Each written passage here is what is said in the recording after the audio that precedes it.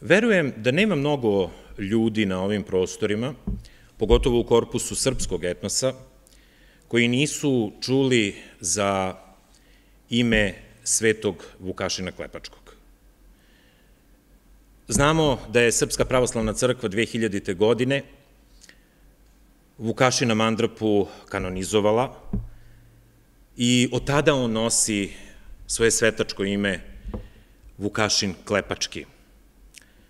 Sam ta, samo to ime govori da je starac Vukašin, kako, je, kako se on još naziva u literaturi, zapravo iz Klepaca, ili je poreklom iz e, Klepaca, odnosno možda je tamo i rođen. Klepci su mesto u Donjoj Hercegovini, nalazi se na levoj obali reke Neretve u blizini Čapine, zapravo to je jedno od sela u Čaplinskoj opštini, kako danas u Federaciji Bosne i Hercegovine, tako i 1941. godine na području tadašnje zloglasne nezavisne države Hrvatske. Svakako svi smo čuli za mučeničku smrt i mučeničku sudbinu svetog Vukašina Klepačkog, koji je stradao 1942. godine u Gradini, odnosno u Jasenovcu, i svi znamo za tu monstruoznu priču, strahotnu priču o njegovoj smrti. Znamo da je ustaški zločinac Žil Friganović ga bukvalno masakrirao pre, pre nego što mu je zadao i one smrtne udarce nožem, a taj masakar je izvršen upravo u danima kada su Ustaše u Jasenovcu, a o čemu smo govorili u prethodnim predavanjima, kada su Ustaše u e, Jasenovcu organizovale čuvene koljačke orgije, kada su se međusobno takmičali ko, ko više od njih može da pokolje, da ubije na, na, na najstrašnije načine, e, ko može da ubije više svojih žrtava, prvenstveno Srba. Friganović je učestvovao u jednoj od takvih orgija i nedaleko od mesta dok je obavljao svoj zastrašujući pakleni posao, ugledao je, kako je on sam kasnije svedočio, Nedeljku Zecu, a koji, a, a, takođe logorašu, lekaru, koji je te Friganovićeve reči preneo i Vukašinovoj rodbini, a na taj način se to sećanje na Svetog Vukašina Klepačkog i očuvalo u narodu, naročito naravno u njegovoj u krugovima njegove porodice i prijatelja. Naime, Friganović je u jednom trenutku zanesen svojim divljačkim, koljačkim poduhvatom, ugledao je smireno, potpuno lice, kako je on to shvatio tada, jednog starca. I bilo mu je neuhvatljivo i nepojmljivo zašto je taj starac miran, kako ne pokazuje strah, kako ne pokazuje užas pred neumitnom smrću. Znamo i o tome smo govorili da je Jasenovac pre svega tome i služio, kako bi žrtve osetile strah, a kako bi se ustaše njihovi, njihove ubice, zločinci, kako bi se hranili tim strahom.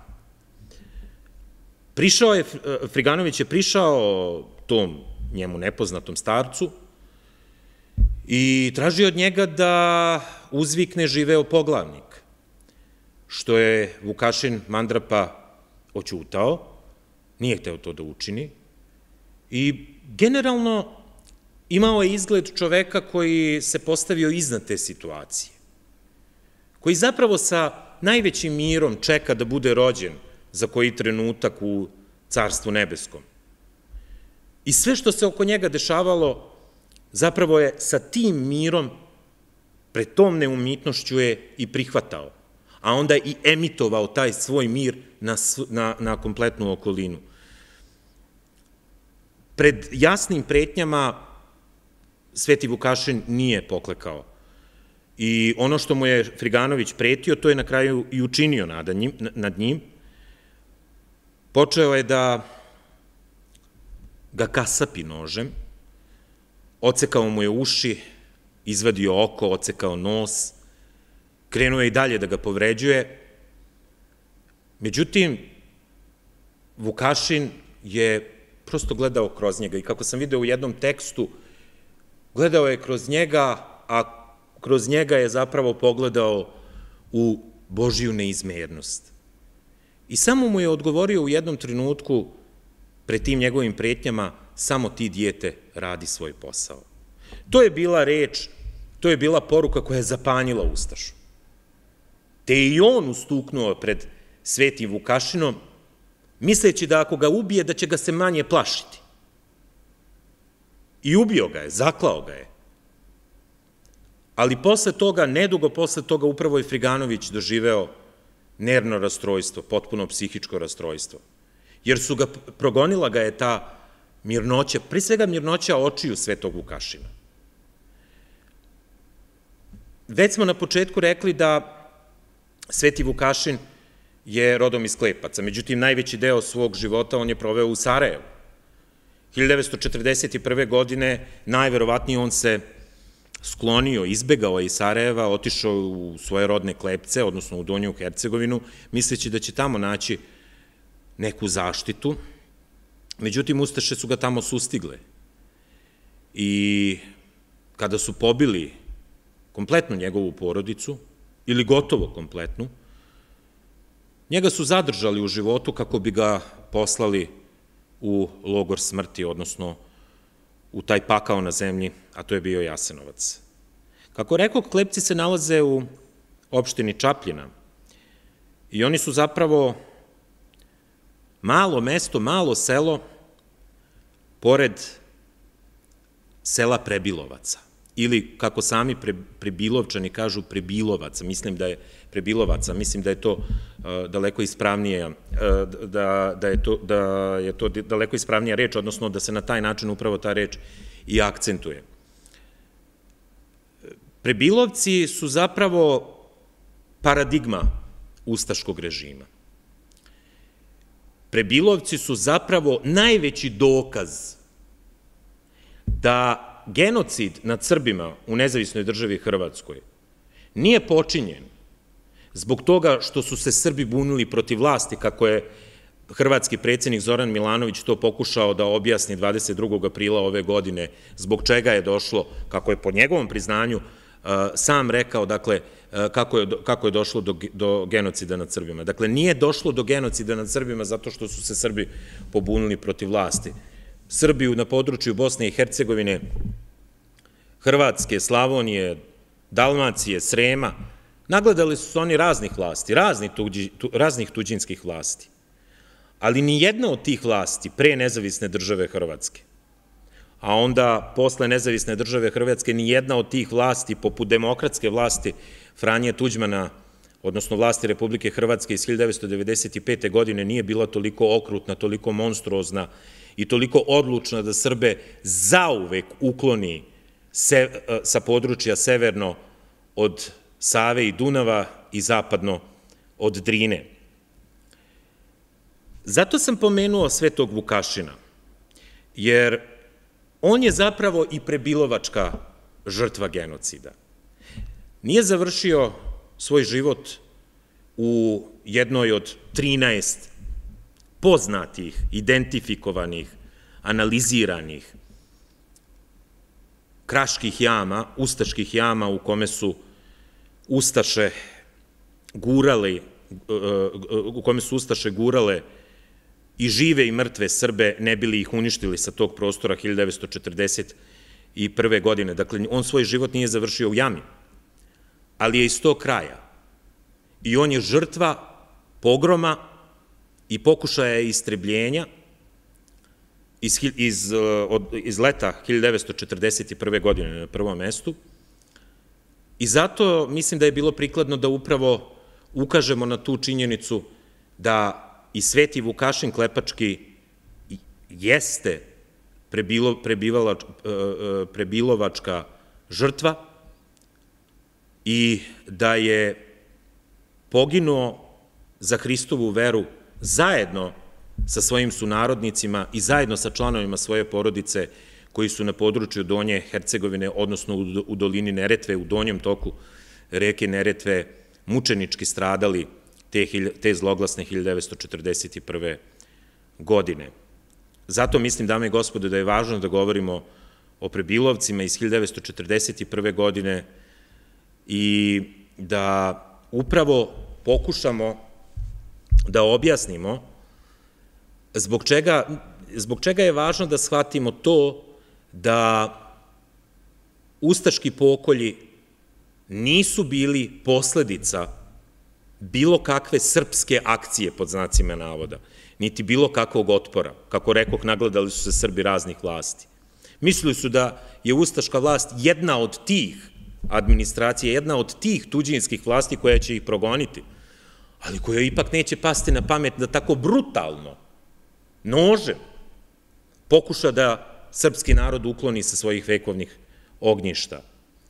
To je ono što je važno e, da, da znamo, odnosno to je, ta činjenica je važna da na nju ukažemo u toku ovog predavanja, zbog čega smo u organizaciji Kulturnog centra Novog Sada i odlučili da govorimo o ovoj temi i zaista sam neizmerno zahvalan na prvom mestu direktoru Kulturnog centra Novog Sada, gospodinu Bojanu Panotoviću, ali i svim koleginicama i kolegama zaposlenima u Kulturnom centru Novog Sada. Kako rekao, prebilovci su i paradigma ustaških zverstava i stradanja srpskog naroda, mučeničkog stradanja srpskog naroda 1941. godine, ali pored toga mislim da nikakav pokušaj definisanja onoga što se desilo 1941. godine neće pružiti adekvatan odgovor kako je bilo moguće da ustaški koljači raspore trbuh Mileve Medan,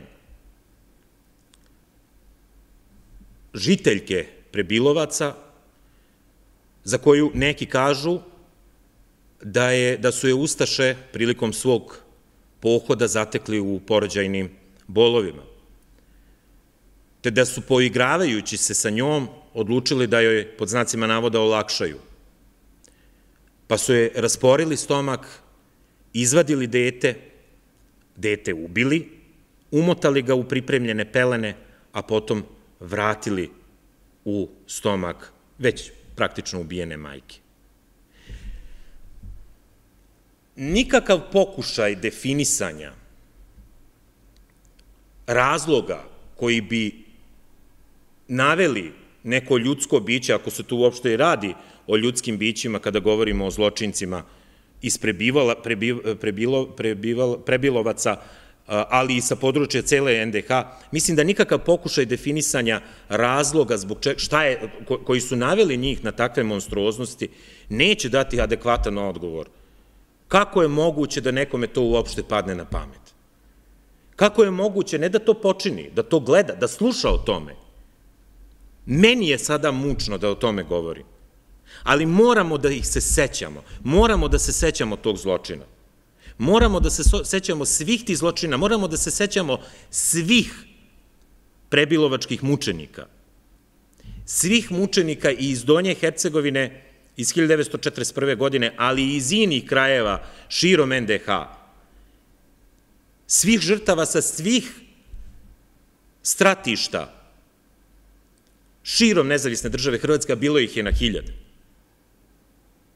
Međutim, jeste Najupečatljiviji primer tog divljaštva nad srpskim narodom, počinjenog nad srpskim narodom u genocidu, jeste, jeste, se, jeste taj iz Prebilovaca 1941. godine. Šta se zapravo dogodilo u Prebilovcima?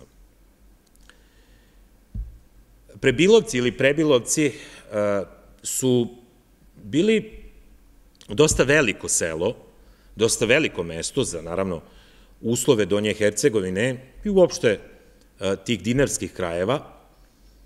1941. E, godine u Prebilovcima je živelo 1008 stanovnika, a inače svoje poreklo oni mogu da datuju čak u srednji vek, i to u 1332. godinu, kada se u jednoj povelji Bana Stefana pominje, pominje porodica Prebilović, od koje i Prebilovčani verovatno vuku svoje poreklo, makar, makar su to neke srednjovekovne legende koje imaju ipak utemeljenja i u, i u istorijskim izvorima. Svakako taj, to područje Donje Hercegovine, taj Čapljinski kraj, Stolački kraj, Stolačko područje, Čapljinsko, taj, taj donji sliv jeli, reke Neretve je od uvek, svakako još od vremena, od srednjeg veka, je bio naseljen srpskim pravoslavnim stanovništvom u dominantnoj meri. Tek kasnije, tek posle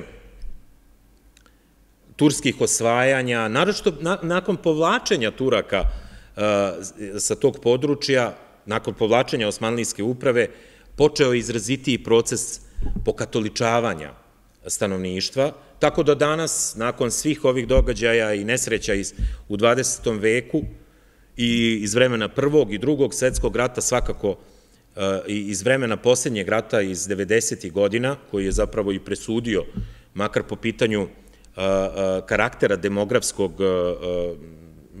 makar po pitanju demografskog karaktera tog područja, svi ti događaji, svi ti procesi i istorijska stanja su opredelili činjenicu da danas na području Donje Hercegovine, pogotovo, pogotovo zapadno, odnosno zapadno od reke Neretve, odnosno sa desne strane reke Neretve, uglavnom živi hrvatsko katoličko stanovništvo. Nije to tako bilo ni pre 80 godina, da ne govorimo o nekoj daljoj prošlosti. Kako rekao, 1941. godine u Pribilovcima je živelo uglavnom srpsko stanovništvo, tačnije od 1008 e, stanovnika, svega, a to je bilo otprilike 160 e, domaćinstava, od svih njih bile su samo tri muslimanska domaćinstva i oni su nakon zločina u Prebilovcima 1941. godine, s obzirom da su učestvovali u tim zločinima, te porodice su posle toga se ocelile. Međutim, kako je došlo e, do, do zločina? E, do 18. maja 1941. godine to područje je bilo pod okupacijom italijanskih vlasti. Nakon toga, odnosno nakon takozvanih rimskih protokola, sporazuma između Mussolinija i, e, i e, Pavelića, e, definisano je, jeli, definisane su i granice nezavisne države Hrvatske i posle, kažem, 18. maja, zapravo krajem maja 1941. godine i kompletna Hercegovina dolazi pod ustašku vlast i tada ustaške vlasti, ustaški stan u Zagrebu odlučuje, a na osnovu već usvojenih čak i zakonskih propisa, o čemu smo mi govorili u prethodnim predavanjima, odlučuje da se fizički obračuna, to jest da biološki ukloni srpsko pravoslavno stanovništvo sa područja Hercegovine, sa područja kompletne nezavisne države Hrvatske, ali posebno su se ustremili na područje Hercegovine, računajući da je to dalmatinsko zaleđe, zapravo da je to zaleđe e, Jadranske obale, koje je strateški, vojno i u svakom drugom pogledu je važno za nezavisnu državu Hrvatsku, te je u skladu sa tim planovima i naređenjima i samog Zagreba, širom nezavisne države Hrvatske, a onda samim tim i na područje Donje Hercegovine, e, poslate su poslati su oficiri, odnosno poslati su visoki funkcioneri E, nezavisne države Hrvatske koji su trebali da organizuju različite pogrome. I ti pogromi e, su i počeli, pogotovo u istočnoj Hercegovini, praktično u svim i tadašnjim i današnjim opštinama, i u Nevesinju, Gacku, Bilećoj, e, Berkovićima i tako dalje, počeli su pogromi početkom juna 1941. godine nad srpskim pravoslavnim stanovništvom. Poznata je Korićanska jama, poznata je uloga Fazlagića Kule, to su sve gatačka, gatački toponimi, gatačka mesta.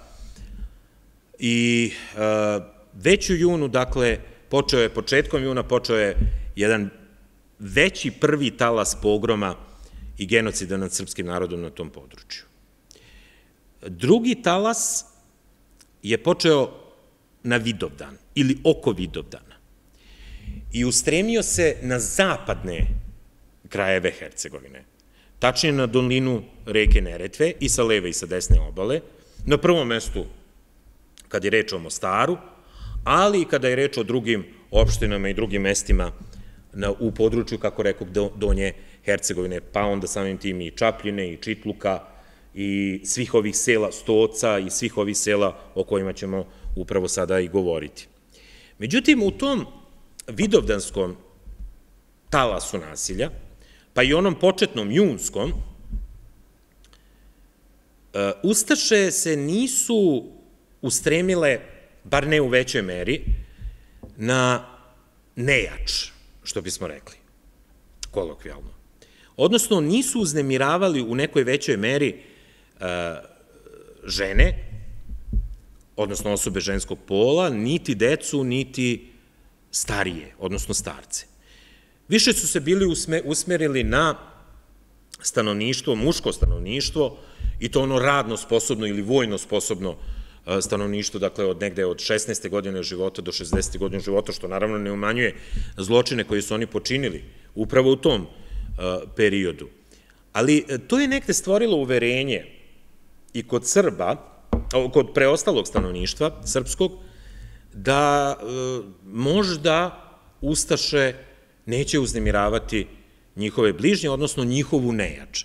To jest e, e, članove domaćinstava ženskog pola, da neće uznemiravati njihovu decu, niti njihove e, starije, a bližnje članove porodice.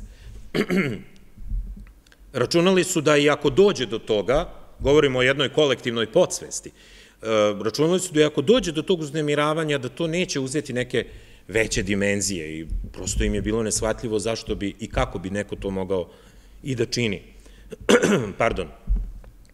Međutim, kako je prošao taj vidovdanski talas nasilja, u kome je bilo mnogo masovnih ubistava, pogotovo u Stocu, u Stolačkoj opštini, na Vidovu polju, i, e, a, a ti, ti zločini koji i dalje imaju karakter pojedinačnih zločina, mada su vršeni nad grupama zarobljenih Srba, oni su počinjeni i u Čapljini. Tada je bilo napada i na okolna sela, kako u Stocu, tako i u Čapljini, pogotovo na selo Tasovčiće. Bilo je ubistava nad poznatijim ili uglednijim i mućnijim Srbima i iz Prebilovaca, da ne govorimo o Čapljini i ovim drugim mestima, ali u julu mesecu masovnih zločina, makar e, nekih čuvenijih, e, na tom području nije bilo.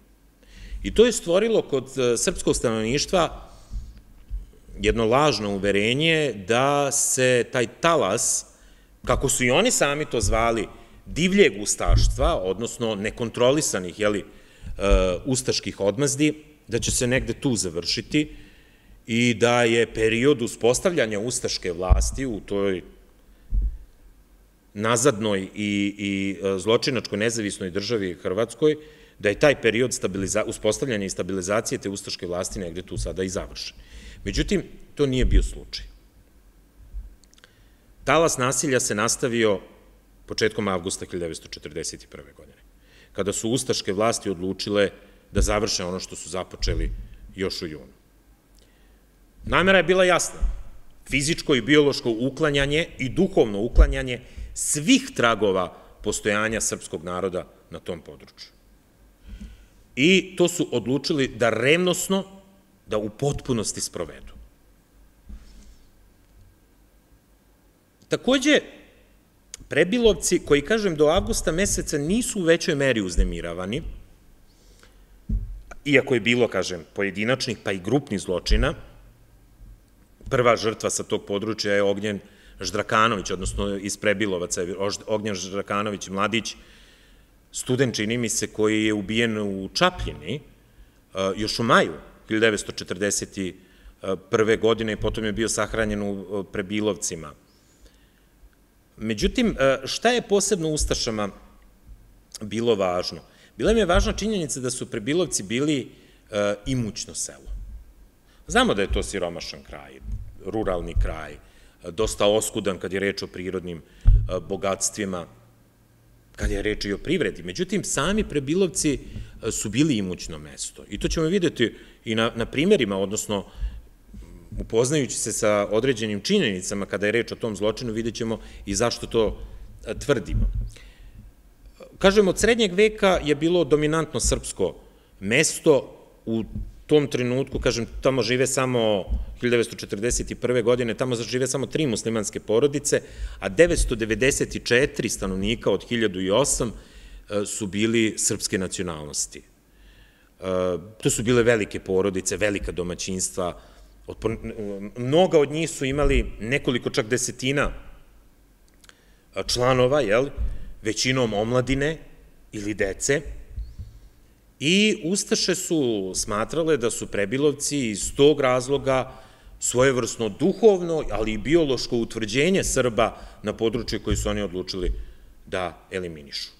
S obzirom da su se sami Hrvati i muslimani, odnosno katoličko i muslimansko hrvatsko stanovništvo iz okolnih sela, s obzirom da su se oni žalili još u junu mesecu na to da ih uznemirava pucnjava, kada bi Ustaše činile zločine, i s obzirom da su se žalili da je, da, da su Ustaše čineći te zločine i pokušavajući da se otarase, naravno, nebrojanih leševa svojih žrtava, pa, koje su bacali u uglavnom u reku Neretvu ili Bregavu, pored koje, a Bregava prolazi pored Prebilovaca, zapravo Prebilovci se nalaze sa leve strane reke Bregave.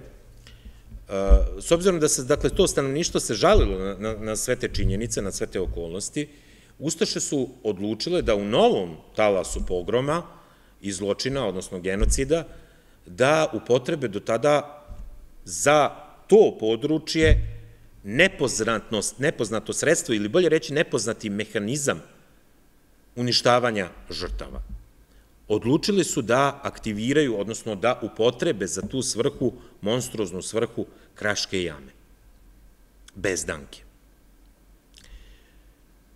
I 2. avgusta na Ilindan 1941. godine Ustaški rojevi od po nekoliko stotina do preko hiljadu pripadnika su odlučili da eliminišu prebilovce u biološkom i u fizičkom pogledu. Međutim, e, tog dana prilazak Ustaša selu je bio primećen, pa se stanovništvo uglavnom povuklo iz sela. Inače, selo Prebilovci su imali u to vreme šest zaselaka e, i naravno, računam tu i centar sela. Stanovništvo, pogotovo muško, se uglavnom povuklo iz sela i kada su Ustaše pristigle u selo, oni su shvatili da im njihov naum e, nije pošao za rukom, da su i Srbi uočili, i uz obećanje da ih neće uznemiravati, oni su se povukli sa tog područja. Srbi su naravno bili svesni šta, šta mogu da očekuju od Ustaša. E, taj narod je bio svestan toga, s obzirom da su imali iskustvo, videli su šta se dogodilo sa klepcima, sa delom klepaca, delom Tasovčića, sa mnogim od, od sela kao što su Opličići, kao što je Opuzen, kao što, videli su šta se desilo sa mnogim selima u okolini Prebilovaca, u Čapljinskoj, kažem, u Stolačkoj regiji, da ne govorimo o nekim drugim mestima u Hercegovini. I e, na sam pomen mogućnosti dolaska Ustaša u selo, oni su reagovali upravo tako, pokušavajući da se zaštite begom. Međutim, žene su se vratile. Mnogi od njih nisu ni napuštale svoje kuće. Opet sa tom svešću da niko neće posegnuti za ženom, odnosno neće posegnuti za nejači i neće pokušati da genocidne namere sprovedu nad nezaštićenim, ajde tako da kažemo, nezaštićenim kategorijama stanovništva. Međutim, oni nisu znali da imaju posla, da nemaju posla sa nekakvim junacima, već sa kukavicama koji se danas možda više njih plaše mrtvih, nego što su ih se plašile tada živih. I svega nekoliko dana kasnije, tačnije 4. avgusta, u ranim jutarnjim satima, praktično u Praskozorje, bila je nedelja, Ustaše su se vratile. iz tri pravca, zatvarajući uz pucnjavu lagano obruč oko prebilovaca. Nekih, e, stotinj, e, e, nekih dve, dve stotine, blizu dve stotine muškaraca je napusti, uspelo da napusti prebilovce još 2. avgusta, a on, oni koji su se umeđu vremenu vratili svojim kućama su tada tog 4. avgusta opet napustili, svo, napustili svoje selo i pobegli su da li u Hutovo blato, to je, to je bara koja se ne, nalazi u, u blizini prebilovaca, ili su pobegli u okolne, u okolne vi, kraške visove, sklanjujući se jeli, od Ustaša. Tako da većina muškaraca je napustila Prebilovce. Pogotovo su iskoristili istočnu stranu sela, jer Ustaše nisu odmah stigle da zatvore i taj prilaz Prebilovcima. Ustaše su, kažem, u Praskozori ušle u selo, ušli su u centar sela i odmah su počeli da prikupljaju zatečeno stanovništvo. Kažem, naročito žene, pokojeg starca i decu. Do 11 sati oni su prikupili, okupili su zapravo u centru sela, pogotovo oko osnovne škole, koja je tada nosila naziv Sveti kralj Milutin, okupili su nekoliko stotina ljudi, kažem prvenstveno žena, i tada je počeo pravi zverski ustaški pir. Prethodno se oni tim ženama obećavali da, ih, da će ih okupiti kako bi organizovali njihovo preseljenje u Srbiju. Mnogi od tih žena su se i tada u tom prvom naletu 4. avgusta u Prebilo, Prebilovcima, u tom prvom ustaškom zverskom naletu, mnoge od njih su se, uh, mnoge od njih, mnoge od njih su obukle najlepše svoje haljine, odnosno najlepša, najlepšu svoju odeću, mnoge su poneli svoje dragocenosti, dragocenosti zlatninu, jeli, nakit porodični ili bilo šta što su smatrali da im znači u duhovnom ili u materijalnom pogledu. Slepo su verovali da, da Ustaše zaista nameravaju da ih presele u Srbiju. Posle 11 časova deo tih nesrećnih žena i dece i staraca Ustaše su pod pretnjom puškama jeli poterali prema, uh, uh, prema putu koji vodi prema uh, ta, prema putu koji vodi prema Tasovčićima i deo njih su potom strpali u četiri kamiona, dva ili četiri kamiona i odvezli ih u pravcu, pravcu, pravcu Tasovčića. Tamo će biti oni smešteni u silos, žitni silos, koji je u, u to vreme, odnosno tog leta, služio kao sabirni logor za Srbe sa tog područja. Starije žene pogotovo, jel, i sve one koji su bili nemoćni, koji nisu mogli da se kreću, oni su još u dvorištu te osnovne škole u Prebilovcima zatukli kundacima.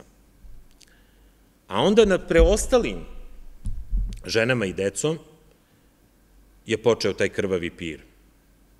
Bestijalno iživljavanje nad nemoćnim žrtvama.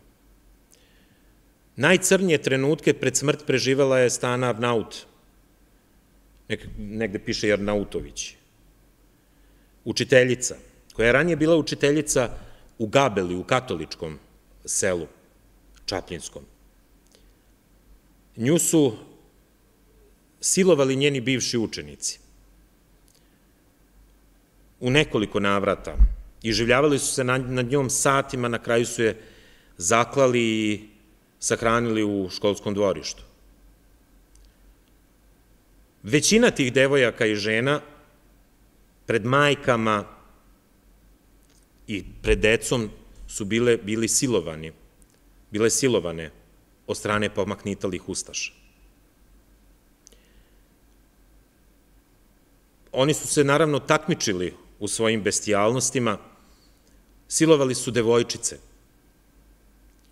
do 13 godina starosti. Ostalo je mnogo svedočanstava o tome šta se desilo toj deci tog dana u blizini škole. A onda kada su završili sa svojim orgijanjem, divljačkim, monstruoznim, onda su odlučili da pobiju tu decu. Zaklano je negde oko 120 đaka, učenika, dečaka i devojčica. Sam general Alessandro Luzano, nekoliko nedelja kasnije, italijanski okupacioni general, koji je došao u Prebilovce nakon što je čuo šta se tu dogodilo, on je svedočio u pismu Dučeu 1941. godine šta je video. I tada je rekao da je video da su Ustaše vadile organe deci u toj školi, da su im vadili creva i da su njihovim crevima kitili, kitili prostorije školske, odnosno učionice, predstavljajući njihove unutrašnje organe, odnosno creva, kao novogodišnju rasvetu ili novogodišnje ukrase. Mi smo to pismo u jednom od prethodnih predavanja i čitali baš, baš na ovom mestu. Nakon što su završili sa tim krvavim pirom u tom trenutku, odnosno tog dana, posle podne 4. avgusta i 5. avgusta pre podne, iz zaselaka, u koje do tada uglavnom nisu ni zalazili, Ustaše su dovele preostalo stanovništvo u dvorište škole i onda je ceo pir, odnosno ceo monstruozni poduhvat je jednostavno nastavljen.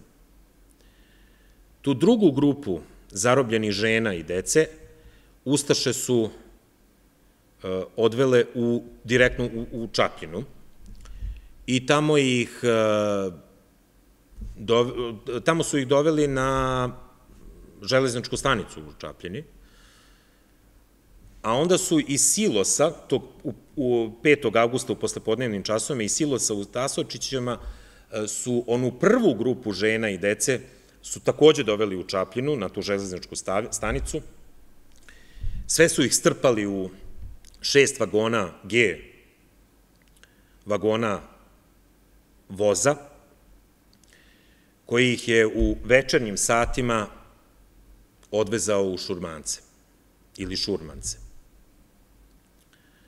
To je nekoliko kilometara, to, to selo se nalazi nekoliko kilometara severno od Čapljine, a inače Prebilovci se nalaze na svega 3 km od Čapljine i nekih 20 km severno od Morske obale i 30 km južno od Mostara. Iz tog silosa uspela je samo da se spase jedna devojka tada, Joka Ekmečić udata Jahura, a iz škole od tih zarobljenih žena uspela da se spase Mara Bulut i Jela Ekmečić sa dve devojčice. To, je, to su jedine žrtve koje su bile zarobljene, preživele užase osnovne škole u Prebilovcima ili užase u Silosu u toku te noći 4. na 5. avgust, a koje su uspeli da prežive. Nekih 500, više od 500 žena i dece, uglavnom, i po kojih i nekoliko staraca, su tim vozom odvedeni, kako rekao, u Šurmance, u Međugorje. I tamo su, u, u Čapljini ih je preuzeo ustaški krvnik Andrija Buljan iz Dretelja i njegovi vojnici, po znacima navoda, odnosno koljači, su ih tu noć, kada su dovezeni u, na, na železničku stanicu u Šurmancima, su ih čuvali oko tih vagona, a onda se njima negde oko 150 ustaša i sami šurmanaca se pridružilo Buljanovim koljačima i njih je predvodio Ivan Jovanović Crnje, ali ne samo on, i Mirko Harar i mnogi drugi. I Nikola Jovanović i mnogi drugi koji će i preživati rat. Sutradan, negde posle šest časova, nesrećni ljudi koji su već dva dana doživljavali strahote, iscrpljeni, bez hrane, bez vode, bez ikakvih higijenskih uslova su onda poterani uzbrdo tom kraškom brdskom stazom prema jami Golubinki i Ustaše su ih u narednih nekoliko sati, negde do, od 8 do od 8 časova ujutro do uh, 13.30 časova posle podne su ih počeli, su ih bacali žive u tu jamu. Ustaše su rasporedili se u četiri grupe. Prva grupa bi odvodila po nekih desetak žena i dece prema toj jami. Druga grupa bi stajala pored same jame. Nakon što bi e, prva grupa dovela svoje žrtve, ta, grupa, ta druga grupa bi žrtve gurnula na različite načine u jamu Bezdanku, a treća grupa je imala zadatak da nakon bacanja tih ljudi u jamu, da na, e, e, na njih nabaca što je više moguće stena ili kamenja koje su pronalazili ili odvaljivali okolo same Ustaše. Četvrta grupa je čuvala preostale žrtve ispod tog brda, tako da te žrtve koje su čekale na smrt, one nisu znale, one nisu mogle da vide šta se dešava pored same te jame. Nisu znali uopšte da ih, da ih oni vode ka jami, možda su mogli samo da pretpostave. Užasne su te scene e, o kojima svedoče neki od e, samih ustaša, samih je ustaša Jamara koji su učestvovali u tim zločinima, na nekim posleratnim suđenjima, ali i ljudi iz okoline, pošteni ljudi koji su bili zgroženi činjenicom da se takav užas desio na njihovom, u njihovom zavičaju. Mnoge žene su, mnoge devojke žene su dobrovoljno krenule u smrt, dobrovoljno su su, su skakale u samu jamu nakon svih užasa koje su preživele.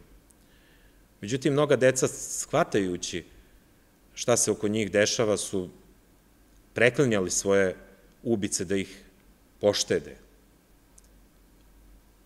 Vriska, vriska te dece, e, koji su se hvatali za noge i za, e, e, za tela, jeli, svojih ubica, moleći ih da ih poštede, Na kraju su još monstruoznije završavali, jer bi Ustaše upotrebile da li nož, da li kundak, da li motku, kako bi na licu mesta zatukli to dete koje je molilo za život, a onda bi telo bacali u jamu. Sasvim malu decu su, naravno, koja se nisu mogli ni na koji način opirati, e, njih su sa osmesima, sa, sa nekakvim djavolskim oduševljenjem su ih bacali u vis iznad jame, nakon čega su se oni survavali u bezdan. Sama jama je bila širine, otvor jame je bio širine 5 metara, a onda je vertikalan, e, vertikalan prolaz, vertikalan tunel je išao na dubinu od 27 metara, nakon čega je išao, e, je išao tunel pod kosinom od 45 stepeni, narednih 100 metara, i taj tunel se završava u galeriji, ogromnoj galeriji, čini mi se širine negde oko 66 metara, visine 12 metara. Mnoge od tih žrtava, a različite su brojke, različiti broj žrtava, nikada zapravo eh, nije utvrđen konačan broj, odnosno konačan broj stradalih eh, u toj jami, eh, Sud u Mostaru je presudio da je uh, u tog dana ubijeno 470 srpskih žrtava, sami jamari Ustaše su govorile o 520 žrtava, dok neka istraživanja govore da ih je bilo 570, od čega svakako najmonstruoznija je cifra od 283 dece. Mnoge od tih žrtava su preživele taj pad. Neki su se hvatali za korenje ili za same zidove pećine, odnosno te jame, ali mnogi od njih su padali na već uh, ranije bačene žrtve u tu jamu. Jer naime, uh, ta jama je punjena osam puta, pre i posle prebilovačkog pokolja. Pre, prebilo, pre, pre, prebilovčana tu je bačeno negde nekih 60 ljudi koji su pokvatani u Sarajevu ili u okolini Sarajeva. Pa su mnoge od žrtava tog 6. avgusta su padale zapravo na već e, ubijene, jeli, stradale, umrle e, e, leševe prethodnih žrtava, čime je bio im ublažavan pad. Nakon što su završili svoj pir, Ustaše su se različne, međutim, jauci iz jame su se čuli naredna dva dana, neki kažu i naredni sedam dana, što je posebno uznemiravalo neke od stanovnika okolnih sela, koji do duše nisu ništa pokušali, e, nikakvu akciju nisu preduzeli kako bi sprečili svoje sunarodnike, pre svega ili članove porodica, da počine taj zločin. Pa je onda Ivan Jovanović Crni, koljač i sami šurmanaca, je narednog dana bacio dve bombe, Kragujevke, je bacio u tu jamu. Nadajući se da će oni dokrajčiti ne muke žrtava, nego da će ih makar utišati, da njegovi su narodnici ne slušaju te muke. Većina muškaraca koji su uspeli da prežive, odnosno da napuste selo pre pokolja, oni, su, oni nisu u prvi mak bili svesni šta se dogodilo. Većina njih. Deo njih je postao svestan ili su čuli, pa je 48 prebilovčana se bilo predalo Ustašama, svesni da njihov život, odnosno sa, sa uverenjem da njihov život ne vredi nakon, na, nakon onoga što se dogodilo. Mnogi sebi nisu, većina njih nije sebi mogla da oprosti što su oni preživeli. Što su poverovali da Ustaše imaju makar malo ljudskosti kod sebe da neće počiniti zločin, da neće počiniti pokolj nad nevinim e, ženama i nad nevinom još nevinijom decom. Nad nejači. I ta, ta savest, e, to, to, ta svest o tome da su oni preživeli, a da su njihovi najmiliji, a neki su izgubili po sedmoro, po devetoro dece i supruge, i majke, sestre. I ta svest o tome da su oni preživeli, a njihovi najmiliji stradali, je mnoge od njih, eto 48 njih između 10. i, pardon, 11. i 15. avgusta se predalo Ustašama u Prebilovcima, oni su svi zaklani bili u, uh, oni su svi bili zaklani na, na obali reke Bregave narednih dana. Kasnije su njihova tela, odnosno njihovi leševi su ekskumirani, odnosno postojali su dve grobnice. U jednoj su pronađene njihove glave, a u drugoj su pronađena njihova tela, bez glava. Lov na Srbe iz Prebilovaca je trajao do kraja avgusta, pa i posle toga. Mnogi od njih su stradali u tom lovu. Ukupno od 4. avgusta pa nadalje stradalo je 140 članova porodice Bulut, koja je bila jedna od najbrojnijih u, samom, u samim prebilovcima. Porodica Dragićević je takođe izgubila nekih 35 članova.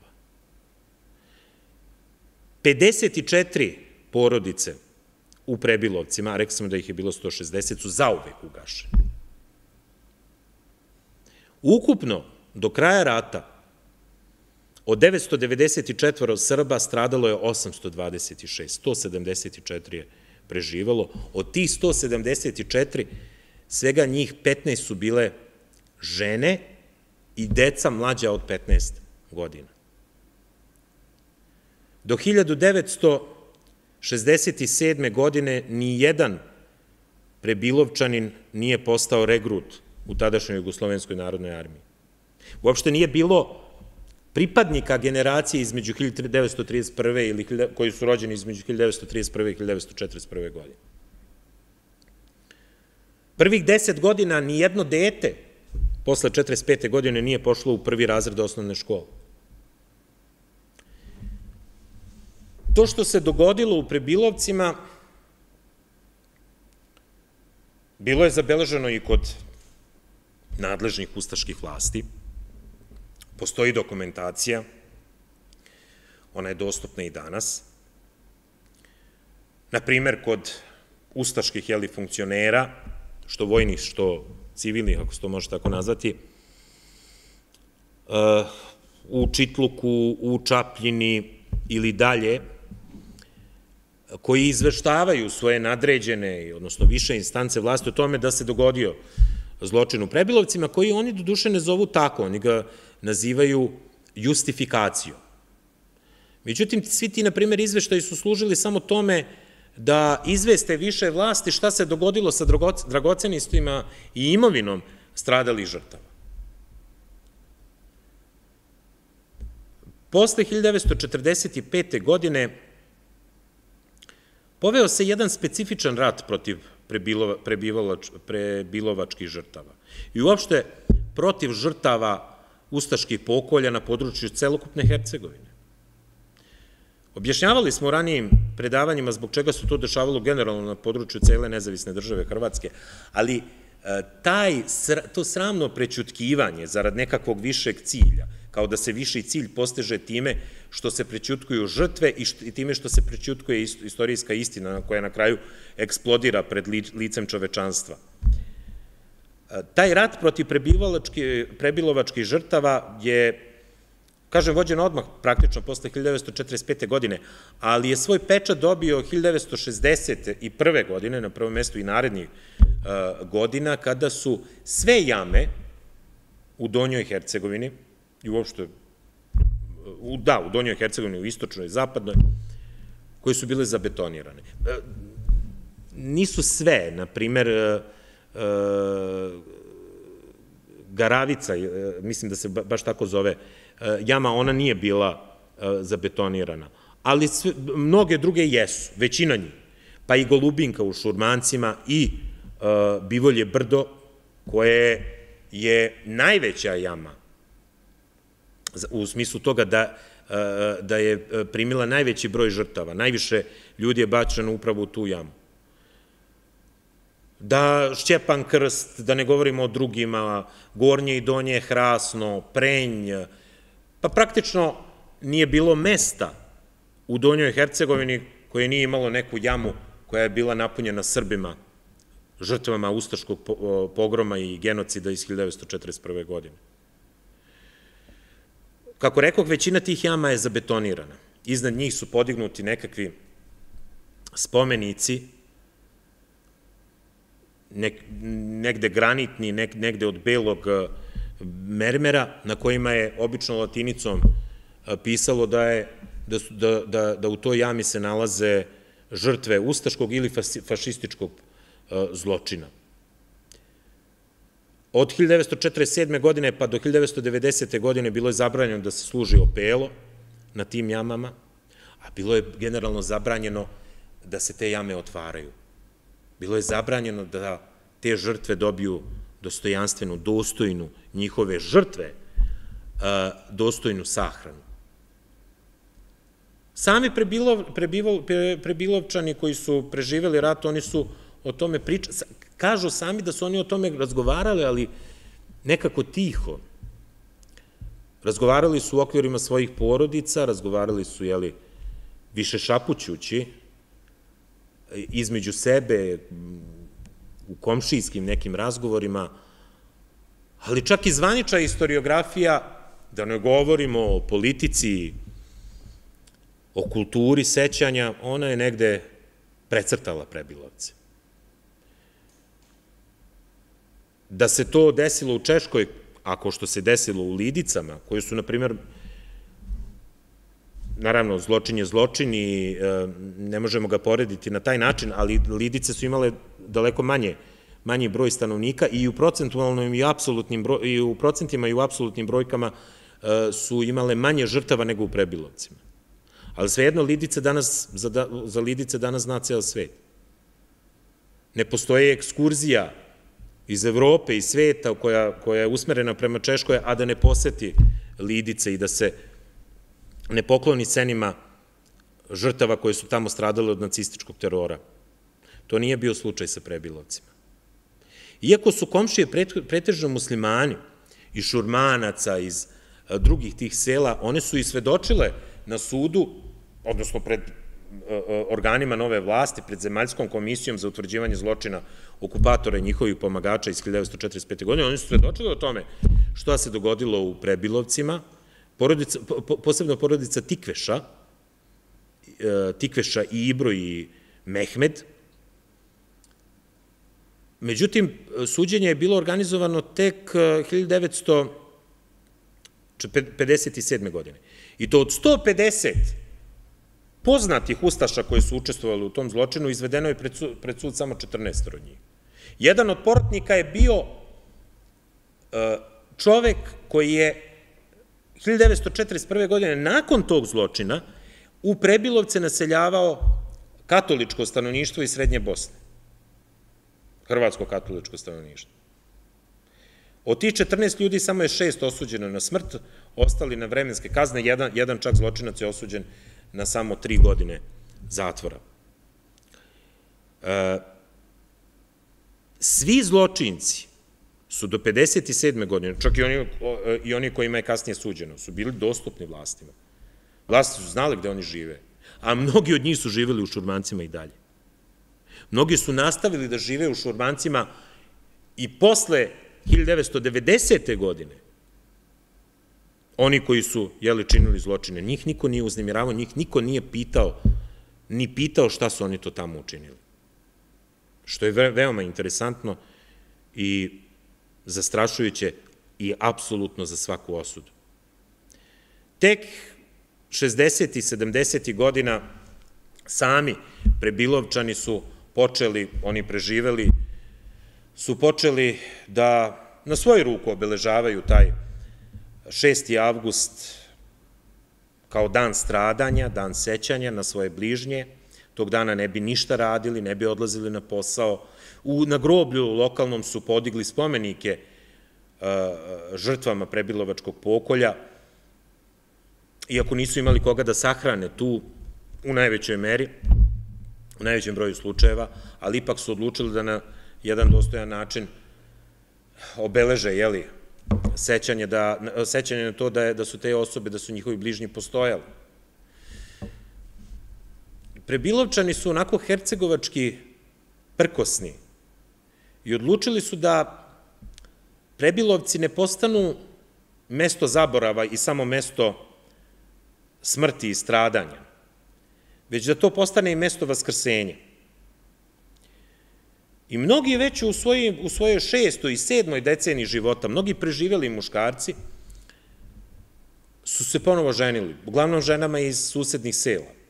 I ponovo dobijali decu, ponovo gradili porodice. Tako da je 1990. godinu e, doček, odnosno tu godinu su Prebilovci dočekali sa 255 žitelja.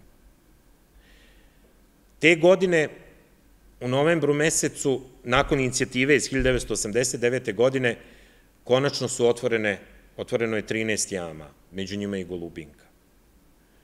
Prvo speleolozi, a onda sudski veštaci, veštaci sudske medicine, zatim i sama rodbina se spuštala u te jame, koje su, uklonjen je bio beton, i ostajali su užasnuti, naravno, pred prizorom, ali nekako e, i mirni, odnosno e, smirivala ih je ta činjenica da su došli u priliku da na dostojan način sahrane svoje bližnje. Tamo su pronalazili nakit koji je bio verovatno sakriven kod žena koje su mislile da će biti preseljene u Srbiju.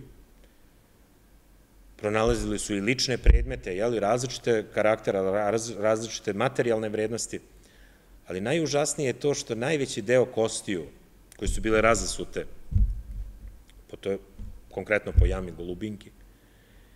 Najveći broj tih e, kosti su bile male kosti, koje su pripadale deci, devojčicama i dečacima.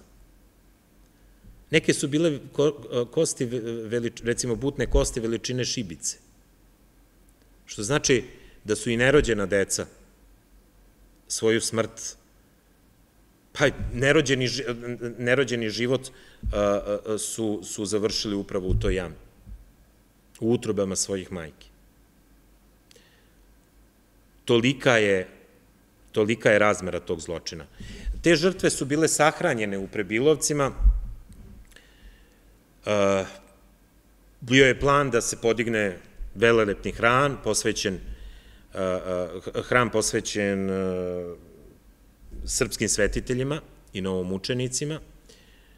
Podignuta je bila i kripta, u kojoj je trebalo sakraniti sve žrtve iz tog područja, sa tog područja, njih 4000, koji su bili dostupni, odnosno posmrtni ostaci stradali koji su bili dostupni tada. I e, kripta je podignuta, ona je 4. augusta 1990. godine i osveštana, 1991. godine, pardon, je ona je i osveštana, i 160 sanduka sa posmrtnim ostacima stradalih je bilo položeno u tu kriptu. Hram je, hram je bio još u izgradnji. I taman kada su prebilovčani pomislili da su zaista vaskrsenjem smrt pobedili, usledili su ratovi iz 90. godina.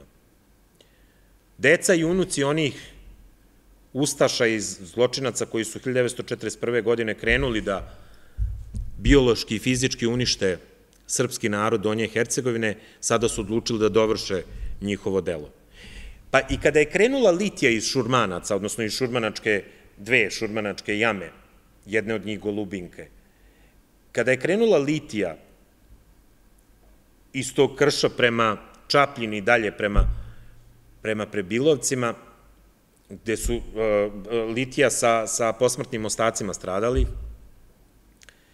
na izlasku iz Šurmanaca uh, je, su, su sami seljani u, u Prebilovcima su ostavili natpis Dođite nam opet, Bog i Hrvati. Živio Franjo Tuđman, veliki sin hrvatskog naroda.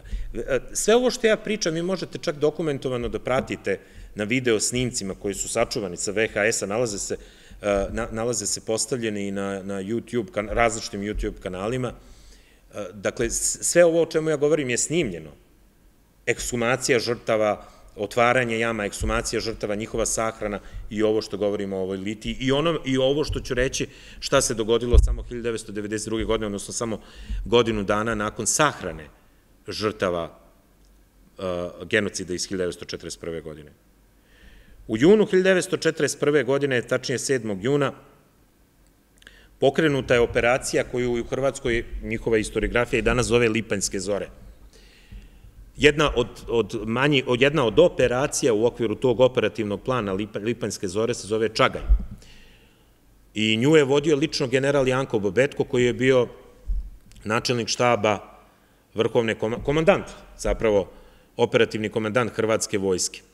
Regularne, dakle, hrvatske jedinice uz pomoć Hrvatskog vijeća odbrane eh, HOS-a, eh, eh, Paraginog HOS-a i deo muslimanskih beretki su 7. juna napali Prebilovce, Tasovčiće, Klepce u akciji čišćenja zapadne Hercegovine nakon povlačenja Jugoslovenske narodne armije, čišćenja od preostalog srpskog stanovništva.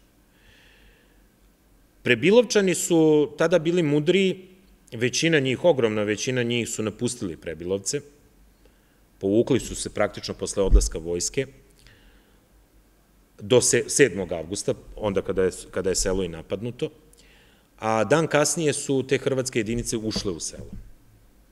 Gotovo ritualno su ga odmah spalili. Išli su toliko daleko da su, naravno, groblja poravnali, vadili su iz grobnica skelete, odnosno posmrtne ostatke preminulih, koji su prirodnom smrću preminuli, kao na primer Trifka Triše Ekmeđića, koji je, čoveka koji je preživeo genocid 41. godine, a koji je umro nad jamom Golubinkom prilikom njenog otvaranja novembra 1990. godine. Njegov grob su otvorili, e, njegove posmrtne ostatke spalili, a spalili su i posmrtne ostatke njegovog unuka koji je umro 1984. godine. Uništili su i grob Ognjena Ždrakanovića. Negde su odneli e, e, posmrtne ostatke iz grobnica, skinuli sve fotografije i negde ih odneli, uništili dakle groblje, uništili kompletno selo, uništili dom kulture, odnosno onu nekadašnju osnovnu školu iz 1941. godine. I sve su to snimali, slikali se tu. Vidi se na jednom snimku iz Denko Vego, arhitekta iz Čapljine, a on je bio unuk Franje Vega, koji velikog ustaškog zlikovca. Tako da paradoksalno i na večnu sramotu svih Srba što su prebilovce tada ostavili u tom stanju, na milost i nemilost Ustaša, na večnu sramotu pokazalo se da su prebilovačke žrtve ponovo pale, ponovo su ta deca pale u ruke novih Ustaša. E, na tom snimku jednom se vidi Zdenko Vego kako drži ruku na maketu, nad maketom hrama u Prebilovcima koji je podizan tih godina. Hram su eksplozivom i uz pomoć mekanizacije različitih firmi građevinskih iz Mostara, Čapljine, Splita, Metkovića, su eksplozivom su, ga, su tu kriptu su uništili i, e, i zidove hrama u nastajanju. Kripta je otišla u vazduh. Eksplozija se čula sve do Mostara. Tri puta je, je ta kripta je dizana u vazduh. Ona je bila napravljena od mermera, sa mermernim čivotom. I naravno cilj im je bio da unište sve tragove svojih zločina iz 1941. godine. Pa su i posmrtni ostaci, sve kosti, dakle, mučenika, odnosno mošti mučenika, su tada praktično stradale ponovo i pretvorene, usitnjene su ili pretvorene u prah i pepeo. Neke su od ciline eksplozije se stopile zajedno s betonom, što je kasnije bilo utvrđeno. Kao što su 1941. godine Prebilovci bili naseljeni hrvatskim katoličkim stanovništvom, čak je promenjeno bilo njegovo ime u Novo selo, sve do oktobra 1941. godine, kada su italijani ponovo okupirali to, to područje i oterali su uh, naseljene Hrvate u, u tom selu. Tako su isto to pokušali sa Prebilovcima 1992. godine, međutim u tome nisu uspeli. Inače, ta operacija Lipanske zore je proslavljena u Splitu, proslavljena širom Hrvatske i sad se hrvatske političke elite hvale i ponose, diče se tom operacijom. Sam Janko Bobetko je u svojoj nadri knjizi sve moje bitke opisao tu operaciju. Čak je i, i napisao jedan deset, u deseteračkom stihu jedan ep o tome kako, on, kako je on uništio Prebilovce i Klepce i Tasovčiće, nazivajući sa to područje pasištem svinja. E, dakle, oni su se ponosili svakako time, a verovatno im je laknulo što ceo svet nije video razmere njihovog zločina i to gde? U području Međugorja, koje je, interesantno je, 1981. godine postalo svetilište, jer je navodno tu se ukazala gospa, e, i to upravo u mestu koje je učestvovalo u genocidu nad Srbima iz 1941. godine. Bilo je vrlo nezgodno za nove demokratske hrvatske vlasti da neko sazna, i to u eri savremenih komunikacija i tehnologija, da je na tom svetom mestu koje do duše ne priznaje Rimokatolička crkva, dakle u Novom Lurdu, Balkanskom, da je on u stvari podignut, odnosno da je on nastao na stratištu i na nad žrtvama genocida nad srpskim narodom, odnosno da su njega počinili upravo oni kojima se navodno gospa ukazala. To je bilo ono što je bilo neprijatno hrvatskim vlastima i zato su odlučili da u prah i pepeo pretvore i prebilovačke žrtve. Međutim, to, to područje je bukvalno i bagerima kasnije poravnato, selo je praktično bilo napušteno, na mestu gde se nalazila kripta i gde je podizan hram, tu je napravljena deponija, ali 1999. godine i naravno godinama posle toga preživeli stanovnici Prebilovaca su počeli da se vraćaju u svoje mesto i danas tamo živi negde 65 stanovnika. Dakle, opet su vaskrsenjem smrt pobedili. Ta deponija je na kraju uklonjena i zalaganjem, naravno, Srpske pravoslavne crkve na prvom mestu podignut je novi hram, posvećen Hristovom Vaskrsenju. Hram je podignut e, u arhitektonskom smislu u, e, u čast, jeli, e, samog, samo, samog hrama, same crkve Hristovog groba u Jerusalimu, odnosno prema arhitektonskim i građevinskim planovima na, na način kako je to podignut, na način na koji je podignut i sam hram u Jerusalimu.